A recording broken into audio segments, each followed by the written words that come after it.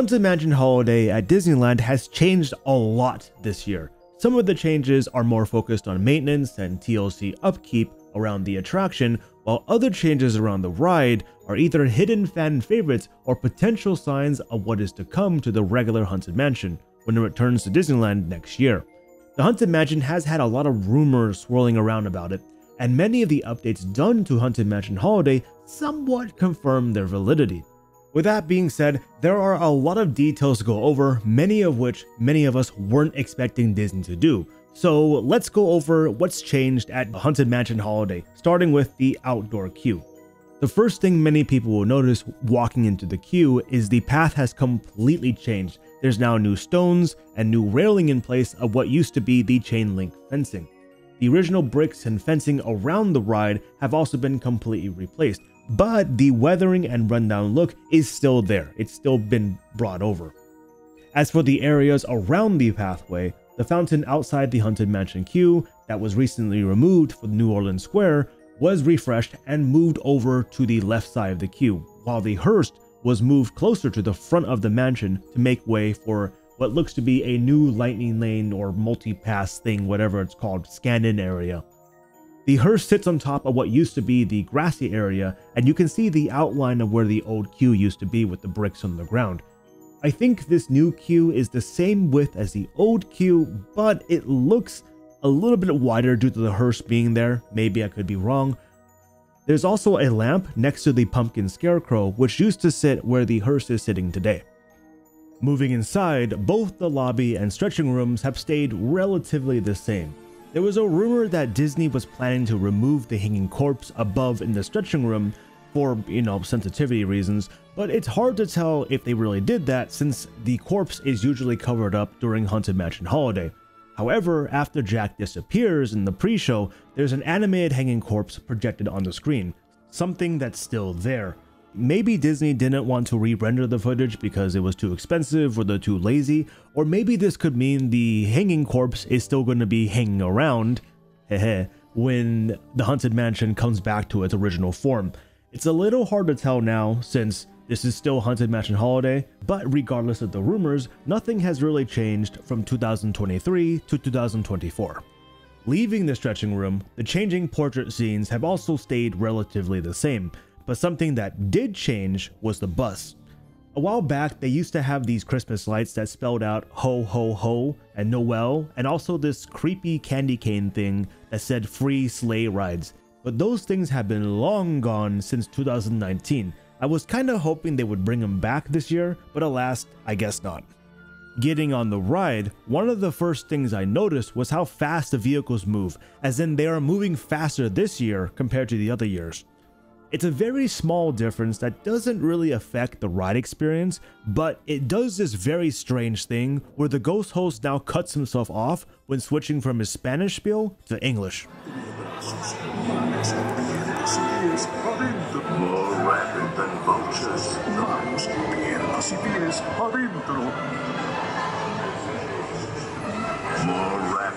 vultures. The mansion was changed. It's not really a big deal, it's just something I found kinda interesting. I didn't really find any major changes in the first couple of scenes in the Endless Hallway as well as the Conservatory, however, I did find a couple interesting things in the next hallway scene. The Vampire Bat, an original Haunted Mansion concept art from Marc Davis that was originally featured next to the Endless Hallway but then was suddenly removed about a week later, has been put into Haunted Mansion Holiday.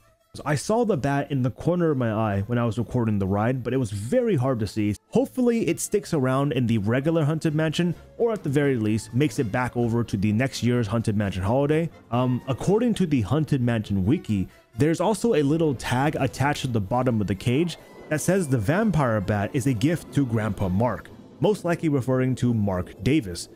I wish I could verify that, but it is so dark in that room that all you can see is just the outline of the cage and the two red dots for, for the bat's eyes. It is just really hard to see, unless you have a very powerful camera.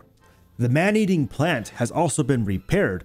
Its teeth are supposed to move up and down, but for the last couple of years, they haven't moved at all. This year, all of the man-eating plant's teeth and arms are working, which surprisingly enough hasn't happened since 2019. No changes in Madame Leota's room from what I can tell, uh, not too surprising since this scene typically has the least amount of changes or issues from year to year. In the ballroom scene, the Frankenstein gingerbread house is the only major change. I've been on this year's Haunted Mansion holiday twice, and for some reason I haven't smelled any gingerbread when coming into the ballroom. Next is the attic scene, where most of the changes in the ride have happened. Literally, everything has changed. Props have been moved around, there's new lighting, we have new or at least a modified snake, we potentially have a new bride animatronic, and so much more. Obviously, I'm not going to go through every single change that has happened in the scene, since the last time I did that, people got a little angry, so I'll keep it fairly simple and, and look at only the major changes done to this area. On the right side moving in, we have a lot more presents stacked higher in the air compared to last year. Looking to the left, where the duck toy from the Nightmare Before Christmas movie used to sit, is now the snake's tail holding up a star resembling a Christmas tree. The snake's head, which used to sit on the right side of the vehicle, has been moved to the other side, where it now sits right next to the Candleman, making it fairly easy to see both the snake and Candleman. Before, if you wanted to have a decent look at the Candleman in the attic scene, you would need to turn away from the snake and basically miss that entire scene. A very good change for both Haunted Mansion enthusiasts and also just regular guests. Where the snake used to sit is now a painting from Jack Skellington. Now this isn't a new painting, instead it used to be installed on the other side where the snake is today. They basically just switched sides. The snake also smashed through a painting, which I think is pretty funny and cool, nothing really new there. Additionally, the part of the snake going over the Doom buggies has also been removed since the snake is only found on one side of the vehicle of new animatronics added into the scene where a pumpkin and Jack Skellington Jack in the Box slowly sway back and forth. The face on the Jack Skellington Jack in the Box sort of resembles Krusty the Clown from The Simpsons, while the other box is definitely Jangles the Clown from Inside Out. This scene is really interesting because it's clear Disney is trying to hide something behind these animatronics. Behind the Jack in the Boxes, there's a large black curtain covering up a pretty substantial area give or take maybe about 7 or 5 feet. Personally, I think this confirms the rumor that Disneyland's Haunted Mansion is getting a new animatronic, specifically a new bride animatronic. The previous Constance animatronic, if you can even call it that, was supposed to be a 19th century wooden mannequin used to hold up a wedding gown which Constance has possessed and materialized in. This effect was done with fans and a projector and looks exactly how it sounds, really bad. But since the original Constance wasn't an animatronic, it was fairly easy to remove and reinstall, which was why she was completely removed every year during Haunted Mansion Holiday. A full-blown animatronic, however, is different. Those are a pain to install and reinstall, since they are heavy, extremely expensive, have loads of mechanical parts, and are somewhat fragile. Instead of removing them, Disney would just cover them up, which is exactly what we're seeing here. I could be wrong, but I think there's an animatronic, or at the very least, the foundations for an animatronic behind this black curtain.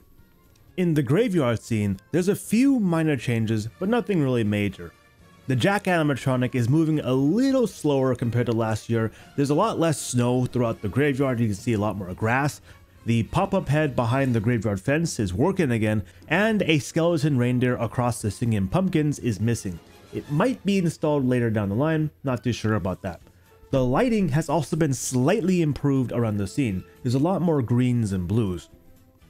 Then, moving on to the last scene, we have one of the biggest changes in all the Haunted Mansion. That is, the animatronics behind the glass, or mirror, has been removed and replaced with screens. It's a little hard to tell in the video, but the effect in the previous years was practical. The gifts Oogie gave you were jerky and always stayed visible no matter where you were looking at. Today the gifts are now fully digital. They have a fade in and fade out animation while also moving a lot more smoothly compared to before. This is part of the rumor where Disney was getting rid of the hitchhiking ghost effect and making it similar to the Walt Disney World version, where everything is screens. but looking at this, the Haunted Mansion Holiday, it completely confirms it 100%. Originally, I was very against the idea of changing the hitchhiking ghosts. Over in the Magic Kingdom, it was very obvious they were screens. The projections were clearly brighter than everything else. There were these weird black bars that separated each screen, and, and it just didn't look convincing. It was really, really poorly done. Disneyland's version, on the other hand, is very clean. You really can't tell where the projection starts and ends. Honestly, I didn't even notice they were screens until I reviewed the footage. I think this effect is done really well. I like it a lot. I'm actually a little excited to see what Disney is going to do when they bring back the original Haunted Mansion. And those are basically all the changes I've noticed from Disneyland's Haunted Mansion holiday. What do you think of these changes and updates? Do you think they're good, bad, or did I miss anything when I was doing this video? Tell me in the comments down below. Overall, I'm pretty happy to see all the changes to Haunted Mansion Holiday. I think they're pretty good and really help improve the ride. But keep your eyes peeled for all the cool stuff that could be announced at D23 and reappear when the Haunted Mansion comes back in 2025. I'll also be doing a watch along live stream for the Disney Experiences panel on August 10th on this channel, so come and join if you want to watch along and hear my reactions.